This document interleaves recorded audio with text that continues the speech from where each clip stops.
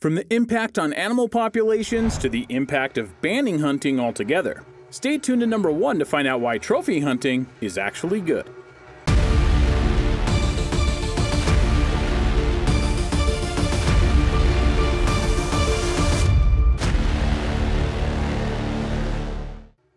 Number 10. It's not for all species of animals. Let's start by knocking down one of the biggest misconceptions in regards to the trophy hunting is good argument. It's the argument that if you support trophy hunting, you are for the hunting down of all species of animals, which is not true in the slightest. Trophy hunting is about a specific set of animals in the world today. Think about it in terms of deer, which has a common practice of hunting that just about everyone accepts. Trophy hunting deer is done because deer honestly breed a lot and if their numbers get too big in certain areas, via not being hunted by humans or natural predators, it will drastically affect the ecosystem, which is something nobody wants. But this same logic doesn't apply to, say, a polar bear, which is illegal to hunt in the United States, but is legal in Canada, ironically enough. We're not saying that it's fair to hunt all animals to maintain the animal populations, but in specific cases, it is okay, as long as the numbers are measured and balanced.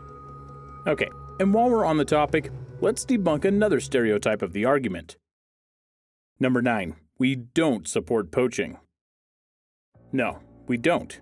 We seriously don't. In fact, it's poachers that honestly give big game hunters a bad name.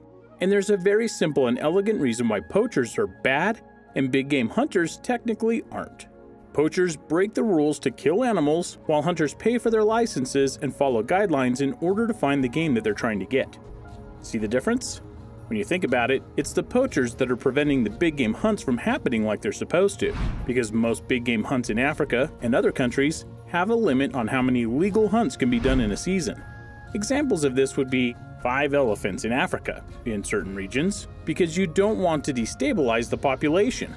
In contrast, a poacher will go in and hunt any animal they please, regardless of whether it's protected, in a sanctuary, or, you know, if it's legal or not. Poaching wipes out entire animal species when it's done in excess, which is why there are numerous elephant and rhino species right now that are teetering on the edge of extinction. But done in moderation, hunting, and even trophy hunting can actually stabilize a population without causing it to dip below the security line.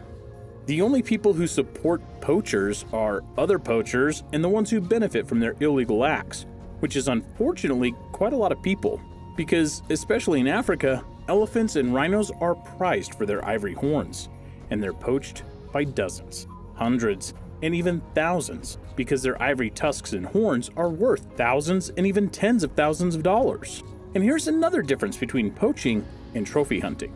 Usually, trophy hunters are a single individual who is off for some big adventure because they can afford said adventure, while in contrast, the poachers are typically organizations that use a wide net of people and resources to get their prey and their prize. So you tell me, who's the bigger threat here? The lone trophy hunter or the groups of poachers? Seems pretty clear to me.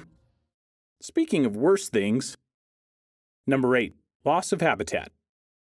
Before we talk about this unfortunate impact on animals, take a moment to like this video and join the Zero to Hero community by using the buttons below. Here's another fact that no one can deny. In virtually every place on Earth, besides Antarctica, because who wants to risk living there, humanity is growing more and more.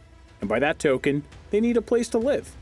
While it's easy to think that we all live comfortably in cities and the like, the truth is we're kind of running out of room.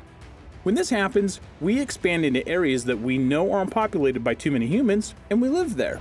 Even countries like Africa, which only have modern cities in places like Egypt and South Africa, have this problem, as they use the lands for farming so that they can provide for their families.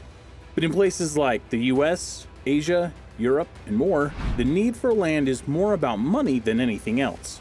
So they chop down forest, habitat lakes, and the like so that they can get their money's worth. When this happens, animals suffer big time. There are many animal species in the world right now that are dying out, not because of human hunting, but due to human expansion and interference. There is a key difference because it's not one human hunting them down, it's all of humanity taking their homes away and furthermore destabilizing the ecosystem, which can kill them just as fast. This is why there are places in the world that are meant to be 100% animal focused, like parks, sanctuaries, and nationally protected areas. Which is actually where one of the biggest ironies of trophy hunting comes in. Number 7. Trophy hunting funds animal parks. Seems a bit oxymoronic, doesn't it? Killing animals to save animals? But that's what some countries do, including the US. They know that those who legally hunt big game animals are rich, and they'll spend their money on an adventure that they can't get back in the city, so they'll charge tens of thousands or even hundreds of thousands of dollars in order to get that single hunt. Then they'll use these funds that they just got and use that to fund the parks that are saving other animals.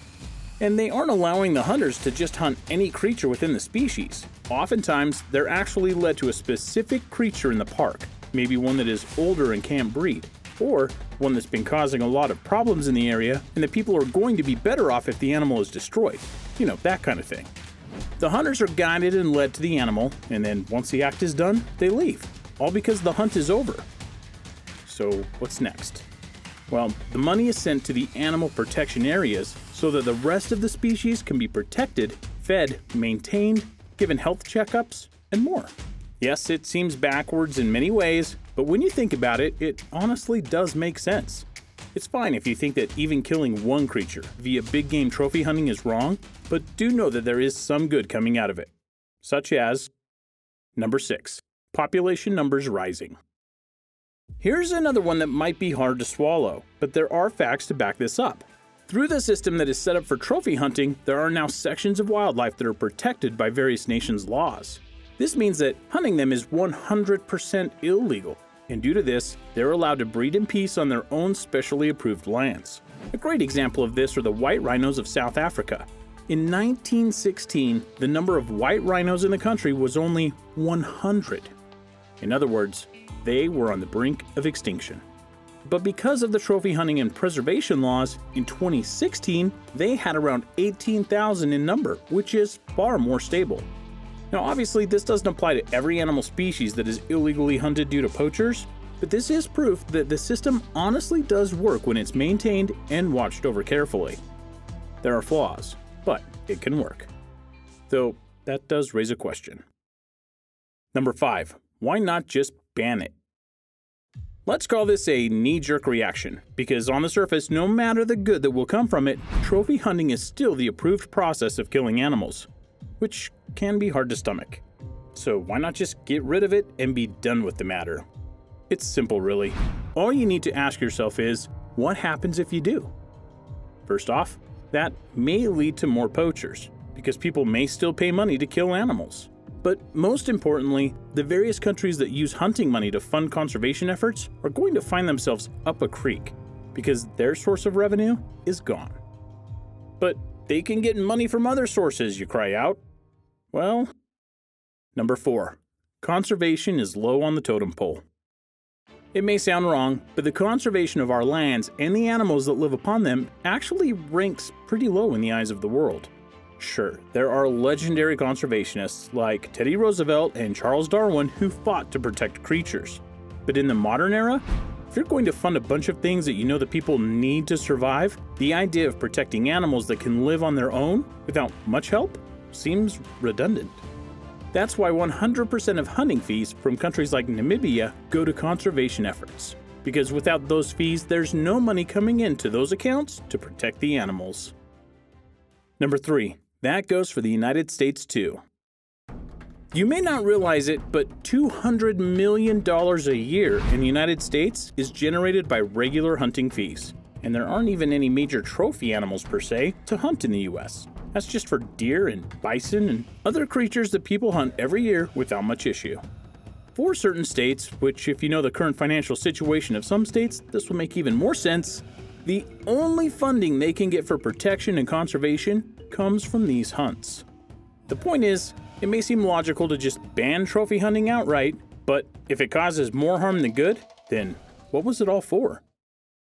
Number 2. We know it's not a perfect system. As we start to wrap up here, we want to let you know that we know it's not a perfect system, but it's a lot better than it used to be. There are many organizations across the world that are not only above board, but are praised for their efforts to make sure that trophy hunting is regulated and done properly so that certain species of animals aren't wiped out for good. And if you don't believe me, look them up. They're there for all the world to see because they want you to know that they love these animals just as you do. Number 1. It's okay to still have feelings. I don't want you to come out of this video feeling guilty about your opinion of big game trophy hunting. That's not the point here.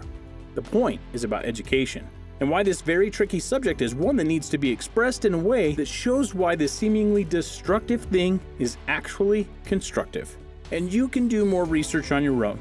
We only did share some bare bones dives into the numbers, but you'll see that in the end, if done right, trophy hunting can do more good than harm. What is your opinion on trophy hunting? Let us know in the comments below and take care.